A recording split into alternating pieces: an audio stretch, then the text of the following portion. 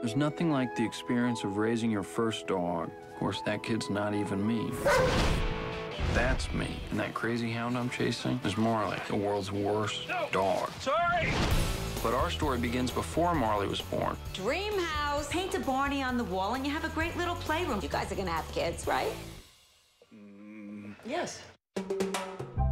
You want my advice? Get a puppy or something. I've never had a dog. There's nothing to it. You walk them, you feed them, you let them out every now and again. This Christmas, get ready for a surprise. One, two, three.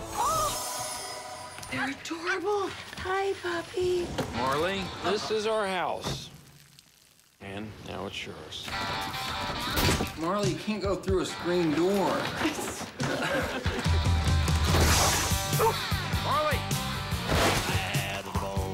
just like a little kid, except no furrier. That's not a dog. That is evil with a dog face.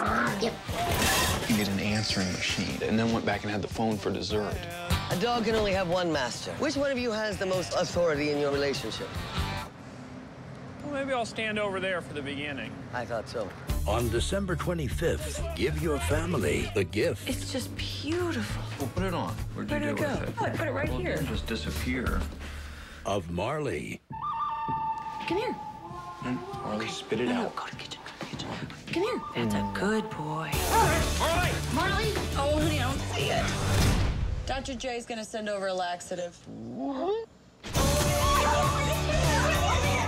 I think we need to find a new house. Whose dog is that? He may be the world's worst dog, None of this was part of the plan. No, it wasn't, but it's so much better. But he brings out the best in their family. A dog doesn't care if you're rich or poor. Give him your heart, and he'll give you his. He's making a break for it! Pull over! There's a ton of traffic. Marley and me.